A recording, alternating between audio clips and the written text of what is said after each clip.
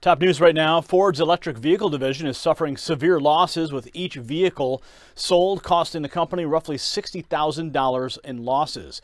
In the first quarter of 2023, the division lost $722 million while selling only 1,200 units, bringing the total yearly losses to roughly $3 billion.